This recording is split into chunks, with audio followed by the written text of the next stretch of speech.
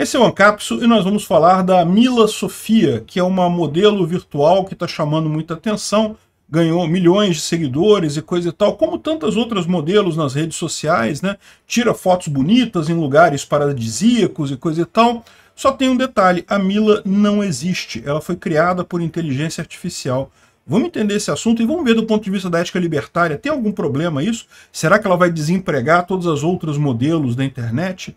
Vamos entender esse assunto. Essa notícia foi sugerida por Vasco Volta, a Série B Te Ama e várias outras pessoas. Obrigado aí ao pessoal que sugeriu a notícia. Obrigado a você que está assistindo o nosso vídeo. Se você gosta do nosso conteúdo, por favor, deixe o seu like e se inscreva aqui no canal, né?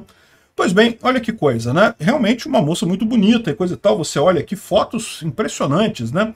Em vários lugares aí passeando, várias praias e coisa e tal sempre com poses perfeitas, né? sempre com a maquiagem feita, com tudo arrumadinho.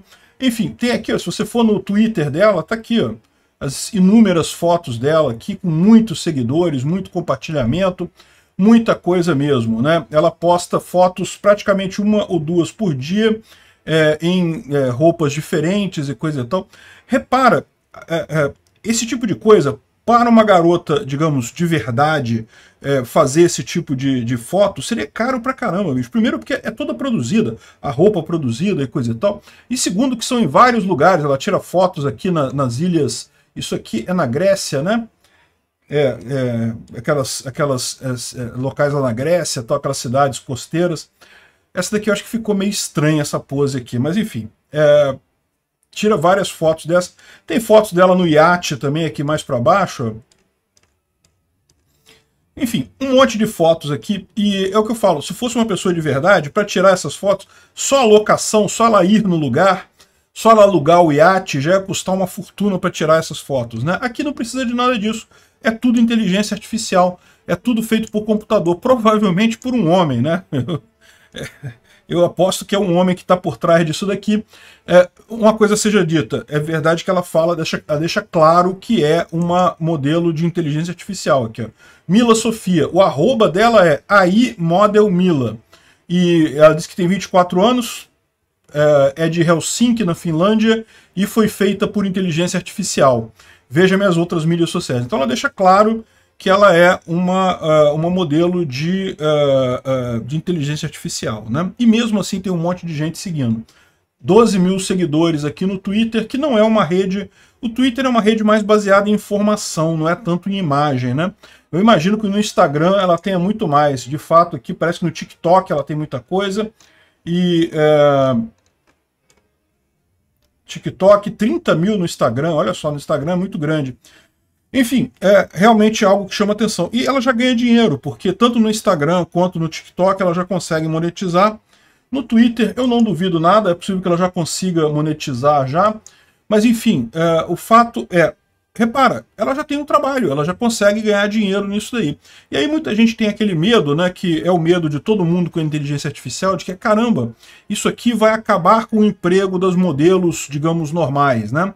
Porque a verdade é que sim, né? é muito mais barato você fazer um modelo de, de, é, é, de inteligência artificial, não custa nada, né? É só uma, um promptzinho ali na, no sistema correto, ele faz o desenho para você e pronto, não tem que pagar direitos trabalhistas, não tem problema de tempo. Imagina, você tirar uma foto dessa de verdade, você vai para um lugar lá para tirar foto. Pode ser que no dia esteja chovendo, né? né? Isso acontece, no mundo real acontece esse tipo de coisa. E o pessoal se prepara para fazer um, uma, uma sessão de fotos numa praia paradisíaca e está chovendo. Ou a praia está lotada, ou acontece alguma coisa que não pode. Enfim, acaba ficando muito mais caro esse tipo de coisa. E com inteligência artificial é trivial, não tem custo nenhum, né? Agora, é o que eu falo para vocês, esse tipo de coisa, sim, é lógico que ela foi muito bem desenhada, né, muito bonita ela, lógico que ia chamar atenção. Vocês sabem, um homem tem uma, uma ligação curto-circuito do olho para o pinto, né, não, não, não, adianta. Tu olha uma garota bonita dessa, não tem jeito, mas uh, uh, o ponto aqui é o seguinte, isso não substitui a pessoa de verdade. Por quê?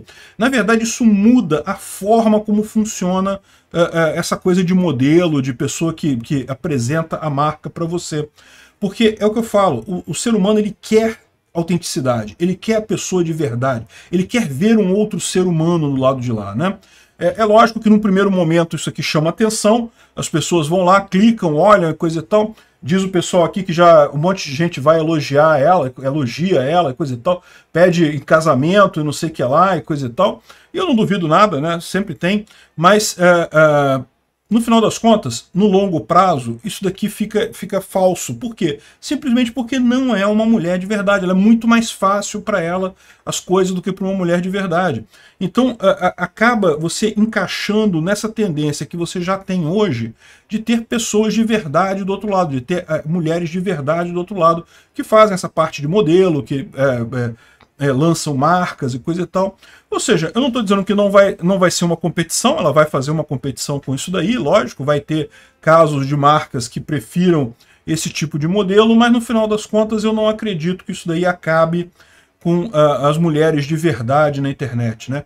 Havia uma preocupação até das garotas que fazem OnlyFans e coisa e tal, porque já tem um monte de página de OnlyFans de, é, é, de, de inteligência artificial, e claro, todas elas criadas por homens, né? Ou a maior parte delas criada por homens. E uh, no final das contas, isso poderia tirar o emprego dos meninos, porque não tem como uma mulher de verdade ter uma, uma perfeição de corpo desse tipo. Não porque não, não sei, não tenham mulheres perfeitas de corpo por aí, tem um monte, mas porque é, é, a coisa é artificial. Não tem a influência do, do vento, não tem a areia, não tem a, os problemas todos. Então, assim, realmente você acaba é, tendo uma vantagem nisso daqui. Mas, como eu disse, não é, não é uma coisa que vai tirar a outra. São mercados diferentes. Eu falo para vocês isso, né? Eu vejo que a internet ela acaba exigindo, demandando uma carga maior de autenticidade, de você provar que você é um ser humano e coisa e tal. É, perfeição demais acaba sendo visto como algo ruim, é, é, é justamente por conta disso. Né? Eu tive uma experiência lá no canal Visão Libertária que me marcou muito, que eu, eu tinha uma, uma thumb, um padrão de thumbnail meu que era bem tosco mesmo, que eu mesmo desenhei e coisa e tal, e os vídeos iam bem, coisa e tal. Em determinado momento eu resolvi mudar o padrão de thumbnail, contratei um designer gráfico para fazer um padrão de thumbnail, pô, tudo profissional e coisa e tal. Adivinha? A visualização caiu. O pessoal olhava para aquilo, via uma coisa muito, muito é, é, artificial, muito padrãozinho, né? Então, no final das contas, isso acontece na internet. É, existe esse efeito sim, né? Enfim, depois eu voltei para o padrão antigo de, de página, de, de thumbnail, por motivos óbvios. Né? É o mesmo caso aqui. Eu acho que não tem problema nenhum isso daqui. Aliás, não fere de forma nenhuma a ética libertária, de maneira alguma, até porque ela deixa claro que é uma, uma inteligência artificial. Né? Se ela enganasse as pessoas, se ela dissesse que existia de verdade, mas não existisse, é outra história. Né? Enfim, é interessante a coisa. Obrigado por assistir o vídeo até o final.